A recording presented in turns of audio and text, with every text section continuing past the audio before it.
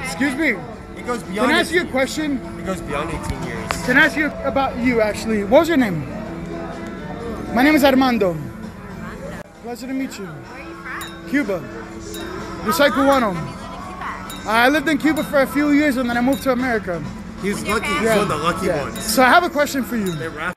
They raffled. Um. Are you are you a woman of self-respect and pride? Like, do you believe in, you know, you you care about yourself a lot and your image and self-respect? It's all relative. It's all mean, I relative. like I- Well, I'd like to tell you right now, you're sitting on the lap of a man that molested a lady who was drunk and on drugs, and he was groping her and trying to make out with her. So while you are doing that, I want you to know you are on, on a man who was molesting a lady while she was under the influence and she was a lesbian and wasn't actually a straight woman.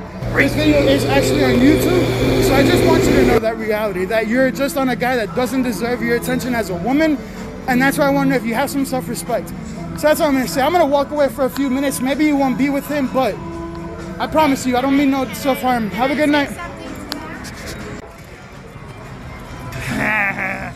All right, I gotta find chicken, bro. Where's chicken at?